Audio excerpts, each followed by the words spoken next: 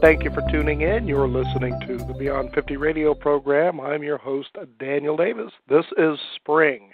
How many of us are approaching midlife and hearing that we're no longer spring chickens anymore? How much longer can this crazy cliche go on about aging and the fact that we're just not as supple and vital as we used to be? Well, think about springtime also as a time of renewal and cleansing.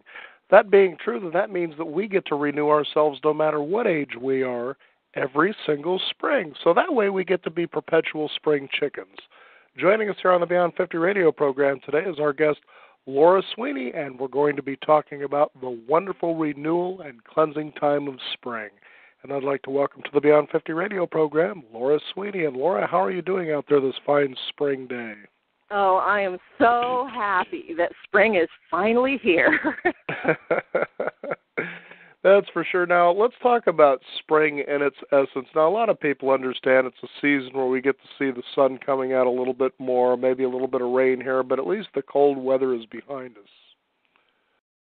Well, yes, that's of course one of the most notable factors of spring that the days are getting longer, and with that, we come closer to the the sun uh, us here in the northern hemisphere, the ground starts to warm up, and everything on the planet gets a burst of energy. That that warmth from the sun, boy, that that is powerful stuff, and we see it in the land, we see it in the animals, and of course, we see it in ourselves.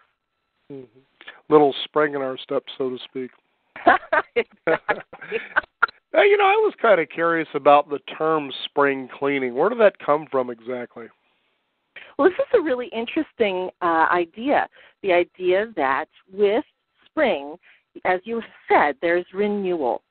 And spring cleaning isn't just something our moms did or our grandmas. This is a really old tradition. It comes out of both Persia and the Celtic lands, oh. where once um, once it was noticed that this time of renewal had come, there was the feeling that you have the ability to sweep out the old and bring in the new.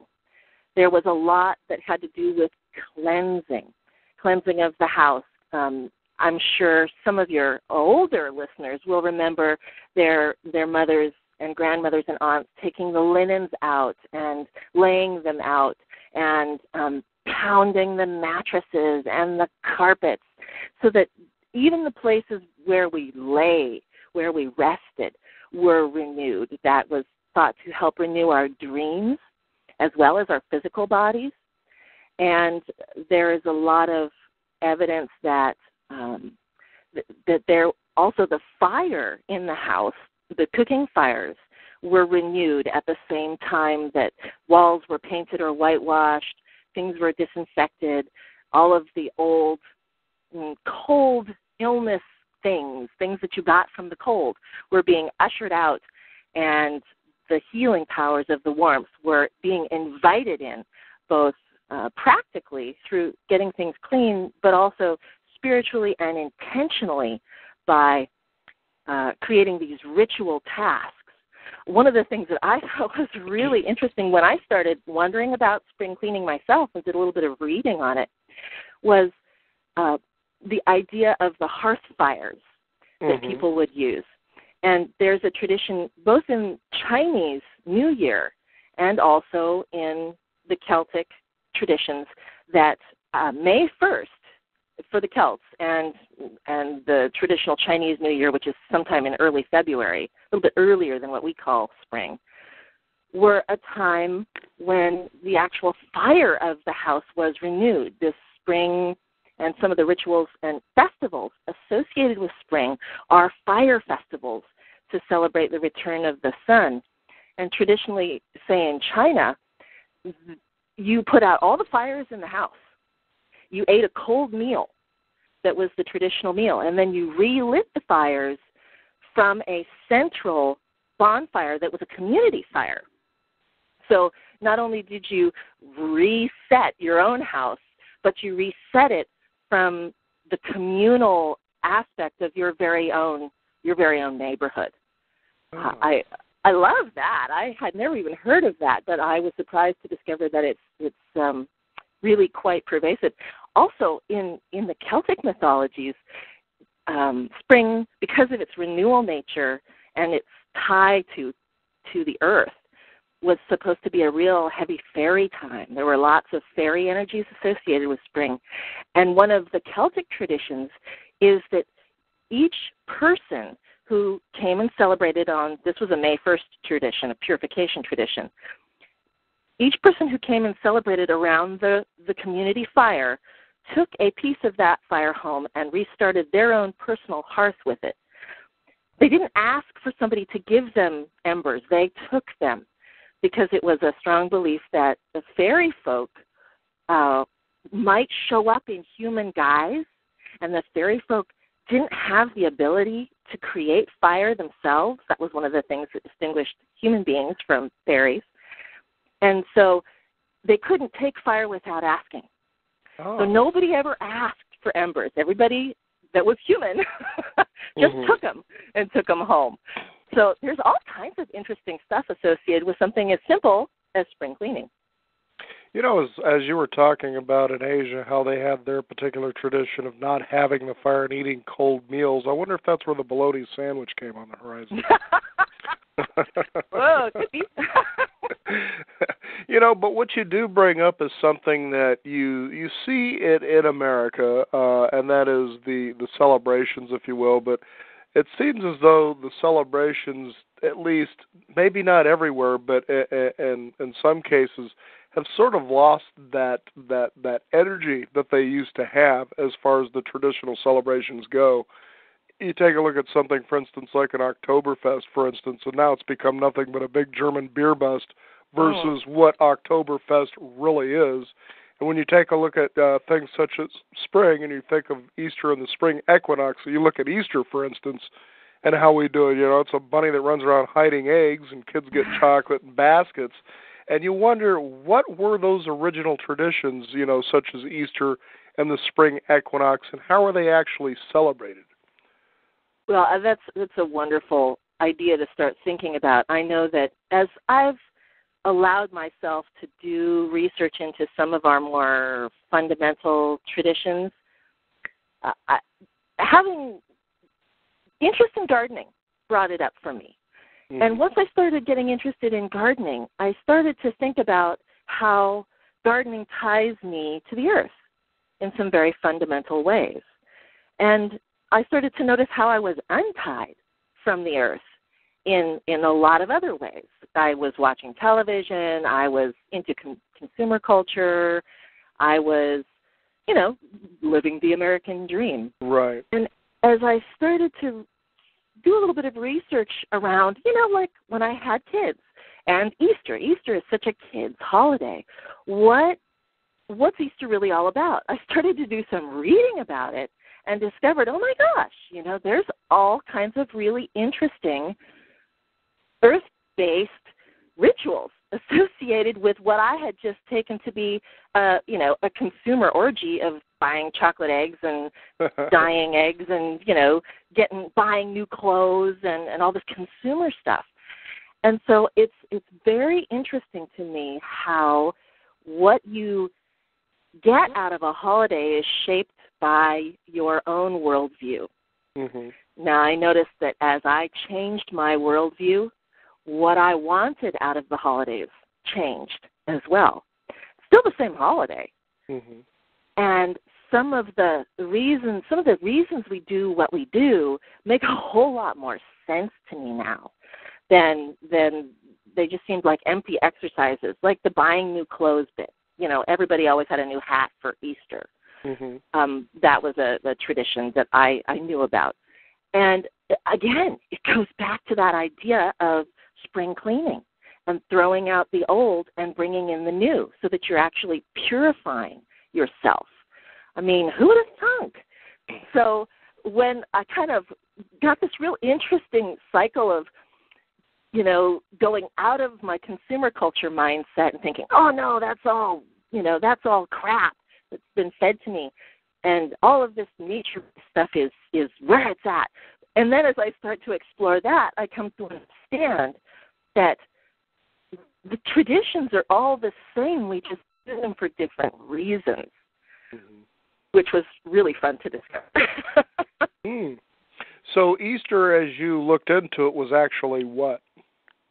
Well, Easter um, is a is a festival that's celebrated uh, almost universally. The the um, the equinox, which is when day and night are the same length. That is official. That is officially the start of of spring, um, when the days actually start to lengthen. And um, in pagan traditions, it was associated with fertility because people were coming to understand that that the fertile cycle of the earth was back on target.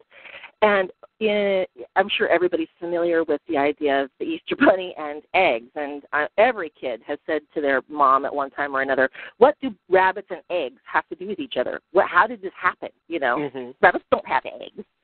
And the idea of rabbits are that they're very fertile creatures. Oh. And when the the the sun warms up the land and the grass starts to grow again, the rabbits start procreating. And they happen to be the bottom level of the food chain for a lot of other animals. They feed the raptors, they feed the the higher level um, carnivores, and so the idea of rabbits producing more and more of themselves was a sign that food was on the upswing that we made it out well, of. I don't know. There could be a correction on that, Laura, when you say that they're at the bottom of the food chain, because I don't remember ever Elmer Fudd being fed by a rabbit. Just oh, thought I'd no, bring that, that in there. I think he needed some spring cleaning. Underdog mentality, you know. and a rabbit, I guess, in this case. So how but, they merge both the egg and the rabbit together is, I guess, a, a, an interesting question. Or, or you know, how did that happen? Yeah. Well, the egg is a, a very powerful symbol of a couple of different things. One, it's round and it invites us to remember the circle or the wheel of the year. Things that are round are found, oh my gosh, cross culturally. There's a lot of Native uh, American and South American traditions and Inuit in the North traditions that um, things that are round, and particularly eggs, have the power of the universe within them. They are the mm-hmm. ultimate example or, or symbol of creation because they have that round shape, no beginning and no end, things that go on and on. And within them, there is life, there is the genesis of life. So, um, in to go back to the Chinese system, their idea of well, and then East, and then East Indian, the idea of karma, that things come back over and over and over again.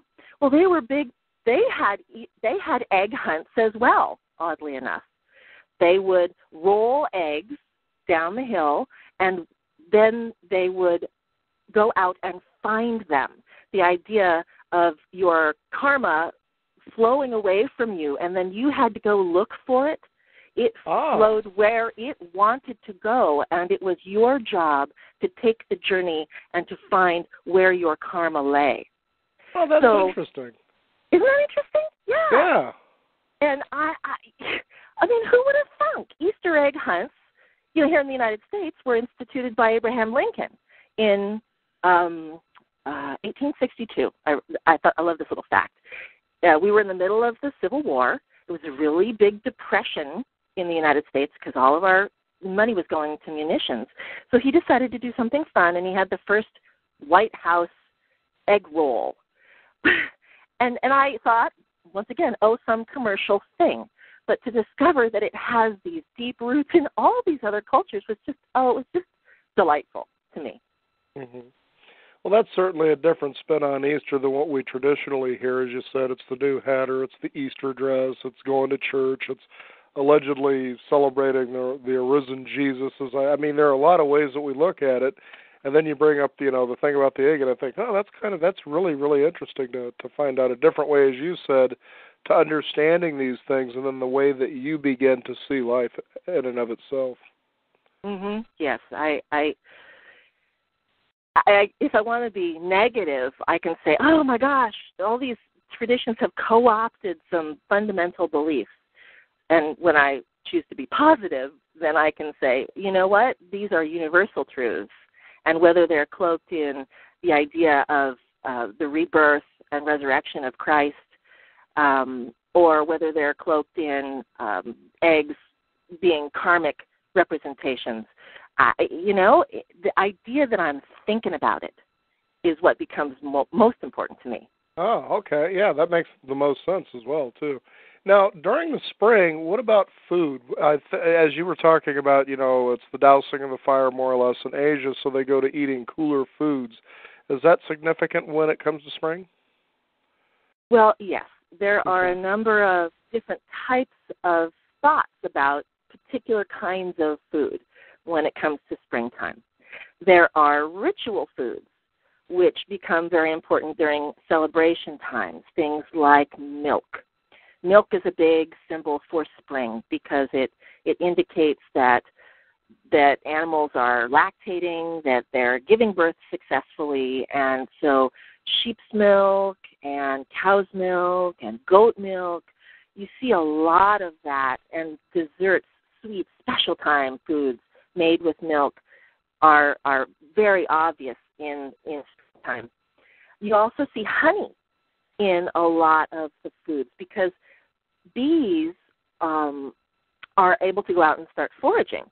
The bees make honey. Honey is their own food source. That's what honey is. And mm-hmm. they go out and they, as the blossoms start to come on, they they're going out and they're foraging. So the honey starts to flow again. There starts to be enough to be able to take some for us and leave some for the bees. So, uh, human beings having that innate sweet tooth, we go, well, traditionally, we had gone for a long time in the winter, really being careful about only having sweets very, very seldom and little tiny bits to make sure you got through till till spring. Mm-hmm. And now here it is spring. And so everybody has honey on all their their cakes and their they make honey wine or mead, which is um, something that you have to brew. You have to actually ferment, and it doesn't actually come to come into its drinkableness until fall. Um, there's some interesting correlations between spring and fall that I, I was delighted to discover. But so as far as foods, you've got milk and you've got honey, and of course the land of milk and honey. I mean, we have all heard that, right? That's a deeply ingrained understanding. Mm-hmm. And and then there's the foods that are associated with what's what the earth actually brings us out of the ground, not just from our animal friends, but from the ground itself. And here we start moving into the idea of spring tonics. There are well, in when you start looking at the healing traditions of of cultures, their native wisdom. We go into the kind of thing that you were talking about in your introduction, where spring is viewed as a time of, of renewal, where you get to be out of the house a little bit more, where you're starting to see things spring up all over the place. And one of the, the great traditions as a, a spring tonic, something that tonifies your system, that exercises it a little bit and supports it at the same time, would be nettles. Mm-hmm. Now, for those of you who have had run-ins with nettles as a kid at camp and such, I know it's hard to imagine that nettles have an attractive side to them, but they do. They're one of the highest sources of protein and chlorophyll and iron in in the green world. And they're also, oddly enough, one of the first things that come out of the ground in the spring. So there's a great tradition among healers to go through and harvest those greens, of course, with something to protect your hands with, because you don't need to be stung by them. That's not of part not. of the ritual. And gather them up and boil them or eat them as you would spinach. Oh my gosh, they make the most succulent spinach type thing you can imagine. And they lose their sting when you cook them. Mm-hmm. So they're just fantastic to have as a side dish, um, as a soup base. If you boil them, they make just a wonderful soup base. Kind of tastes like asparagus. And they leave your broth just full of all of these incredible um, phytonutrients, little micro um, nutrients that we all need. Get, get your iron going, get your kidneys going, get your liver going. Helps you to, you know, regain that spring chicken thing you're talking about. Right. And not only, this is really interesting too, not only are nettles good for humans, but traditionally farmers have used nettle tea to fertilize their young plants. Oh. So they would pick a bunch of nettles and they would soak them in a big old barrel of water until the water actually started to bubble. You know, we're talking like a week. And it started to kind of smell funny. And what was happening was it was anaerobic decomposition. It was actually starting to rot in the water. But that, that process of decomposition was pulling apart the nutrients that are in the nettles so that then you could take the water that was now full of all the nutrients and you could water your plants with it. Oh. So the plants also were then receiving all of the micronutrients and the iron and it was giving their system a workout and it was making them stronger and more nutritious for the farmers. So nettles are they're a big one. Well, I was actually going to say, in support of what you're saying, is I believe it was last week we had uh, produced a segment where we were talking with a lady who is very well versed when it comes to herbs and the uses of herbs. And she said she had given like the top three or four that people should make, uh, as you were saying, uh, tonics. I, I don't know that that was the word she, but let's just say tonics. And um, and uh basically what you did nettle was like number one you Oh, know on yeah. her list. And she says what you do is you take an ounce of of stinging nettle dry and you go ahead and you boil some water and then you pour it into a quart jar and then you put the nettles into that and then you go ahead and you close it and you let it steep for about four or five hours. She says what she usually does is that she'll actually uh put it in the quart jar you know with the boiling water seal it and then just you know and, and do it overnight you know? Mhm. and then that way and then in the morning you just go ahead and you just drink that quart. And she says your energy will just go through the roof you know Oh, in a yeah. very natural way. And then there were a lot of other things. And then she talked about things such as red clover. But there were these as she called them the top four that you should have for these herbal infusions if you will and Mhm. and here you are, you're literally saying, yeah, that's exactly when you go out there in the spring and you find that stinging nettle, collect as much of it as you can because I can tell you this. Here's a plant that's probably readily available just about anywhere if you know where to go look for free, and they're charging about a dollar fifty an ounce. Oh, yeah. when No you go to a health food store, so just think Yeah. about that for a minute. yeah yeah if you have access to uh, a place that you know doesn't have any uh, pollution in it Mhm. and you happen to know that there's stinging nettle there you can harvest nettle up to the point where it, it gets those little tassels those little they look like um tassels of of beads those are the seeds of the nettle Okay. and I'm all about low tech harvesting. so you get your gloves, you go out and you cut the plants until you see those seed heads. And by that time, the plant is using all of its good stuff. So it really doesn't have a whole lot more. It, it, it's not as full of it as it was in the spring. But if you have a, something as simple as a hot car, okay, a car that's sitting on a hot driveway, you take your nettle plants, you put them out on some foil or uh, you know if you've got a screen that's great but if you don't then don't worry about it Mhm. set it on a nice clean t-shirt and leave it in the car to dry and once it dries till it's crispy to the touch then you can take it and you can um, take the leaves off and put them in some baggies or some mason jars or something like that because you will have you will still have that the the freshness and those those amazing micronutrients that we we miss all winter long right. because what we're eating in the winter is food that's that's got a lot of starch in it because it stores well Mhm. and um but we don't have those fresh bursting nutrients that are the the signs of things just starting to grow and growing with fantastic gusto so yeah not only can you make nettle infusions but every time you make soup take some of those little flakes and throw them into your soup whether it's a canned you know you're making some progresso minestrone or whatever just grab a little handful of those nettle flakes and throw that in there hmm and and then for those of us who suffer from uh spring allergies hmm this is this is where going to the health food store is is actually worth it for its gold. Another thing that's really cool about nettles is it acts as a prophylactic, a protective agent against hay fever. Oh. I don't I don't even know that we know how this works yet, but we know that it does.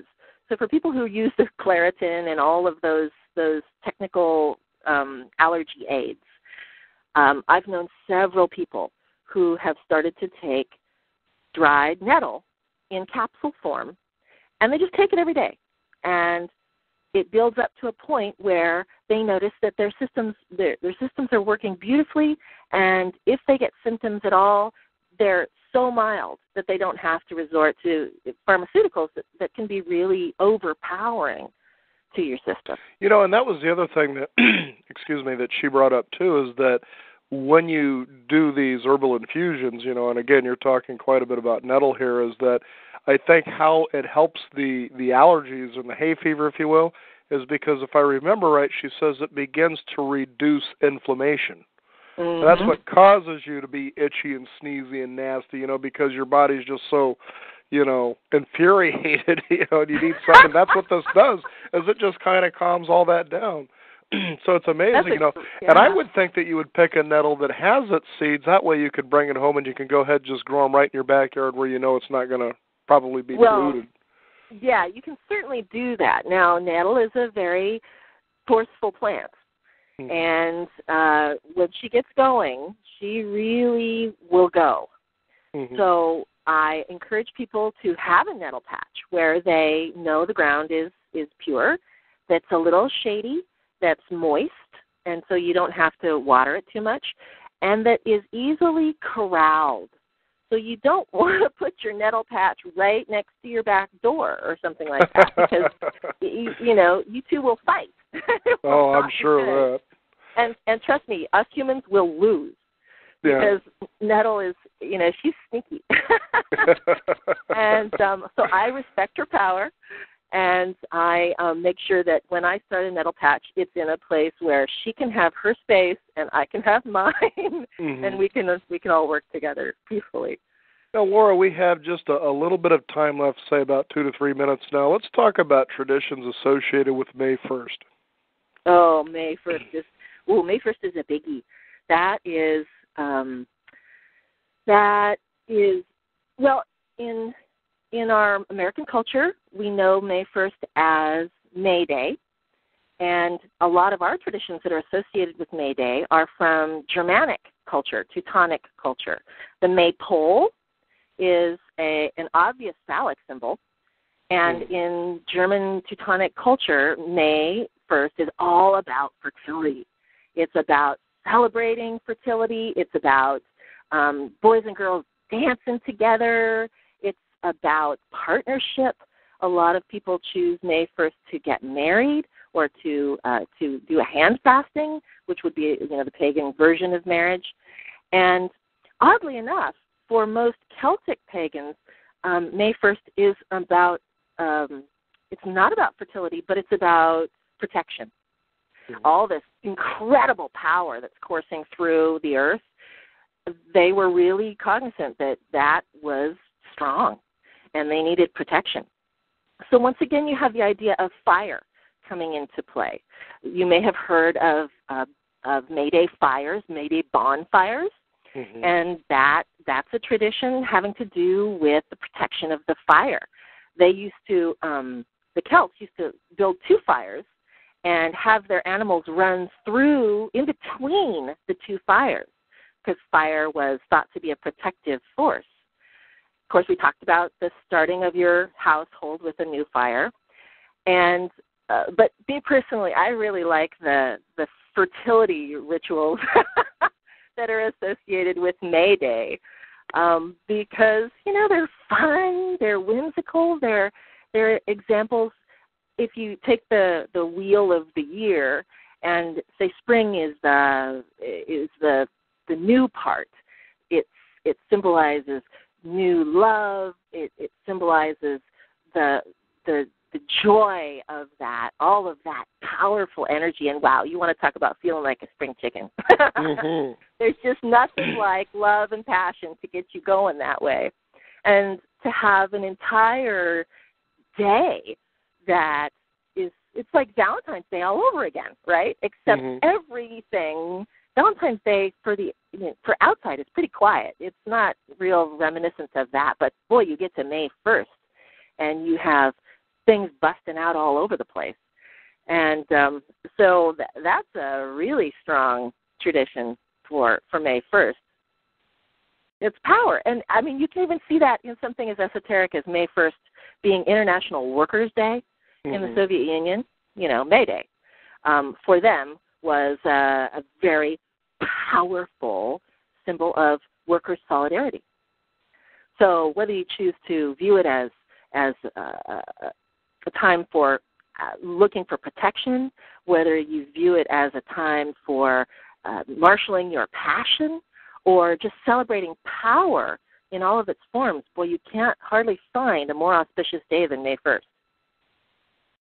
I'll tell you, it's always interesting to have guests on the program when we talk about uh, things such as seasons, and most of us just kind of take it for granted. Oh, here's spring, here's summer, here's fall, here's the winter, and maybe some activities that you do around that. But to think of the essence of what they actually mean to us in all cultures, it really becomes very fascinating. Well, and that's one of the things that I love about our conversations. It it gets me thinking about what do I know about this, and and as I've started to study study this kind of work, I am always delighted to come away with some new piece of information that I didn't know, that makes my experience every year that much richer, that much more profound. In each season, when I choose to be intentional about how I move through my life, I choose to learn about what happens outside of myself, what's happened in the past, and how that's informed what happens now. I find myself comforted by having a place in history. I find I don't need to watch TV to entertain myself. I don't need to go out and buy things to entertain myself. I can read, I can garden, I can cook, I can celebrate. All of these things, you know, they're free, they're simple, they're they connect me with my family and my friends and my history. And my my life is just so much richer for it. And I and I hope I can encourage your listeners to to uh, try that that kind of exploration for themselves. And you could always discover that although you may be watching TV and following our financial economic world crisis, that the world is actually a lot kinder, more playful, and more abundant than you can ever imagine if you're just willing to step into it. Laura Oh, Sweeney, yeah. thank you so much for joining us here on the program today. Oh, thank you, Daniel. It's always a pleasure. You bet. Is there any way that if people wanted to contact you to find out more about what it is that you do and as you describe uh, things such as uh, the seasons, that they can find out more about that? Well, you know what I would do is um, I'm part of a group that has a festival every year. It's coming up in the end of June. It's called the Fairy Congress, and you can go to www.fairycongress.org, and that's F A I R Y Fairy Congress. And there you'll see a group of people who are celebrating these kinds of nature traditions, who are celebrating the idea of nature spirits cross culturally, whether they're Chinese, whether they're Persian, whether they're South American, whether they're Celtic. And if you start hanging with people like that and you start reading a little bit about what they have to offer, it it broadens it's broadened my life. And so I encourage your listeners to, to look up fairycongress.org and see what you find there. Very good. Well, Laura Sweeney, again, thank you. It's been such a pleasure to learn so much deeper about what seasons are and how they're celebrated and honored around the world that makes you actually, again, be in the world and not of it. And it's been a pleasure to have you on the program again. Thank you, Daniel. I know you've got the spring in your step now. I'm still a spring chicken. I don't care what age we are. Absolutely. Thank you again, Laura. Thank you. Well, there it is. Be in the world and not of it. Find just wonderful ways that you can get involved and just really see and enjoy what's all around you. You'll find that just as in The Wizard of Oz, as the Witch of the East simply said, You had it inside of you all the time. That's what spring can certainly bring out of you. Again, thank you for tuning in. You've been listening to the Beyond 50 radio program. I want to thank all of you listeners for tuning in. We do welcome your questions or comments. Just simply shoot us an email, daniel at beyond50radio.com. Also, want to thank the following sponsor for making this program possible ZRT Laboratory. So, if you're suffering from hot flashes, foggy thinking, sudden weight gain, low libido, mood swings, and other effects of aging, ZRT Laboratory, the forerunner in hormone testing, is your first step toward ending troublesome symptoms. Visit them online at www.zrtlab.com to find out how their home collection kits can help detect and correct hidden hormone imbalances. Let testing be your guide to symptom relief and life changing solutions that begin with you. Also, be sure that you have physician's guidance. I'm Daniel Davis. Thank you for tuning in. You've been listening to the Beyond 50 radio program. Remember, live your day past halfway.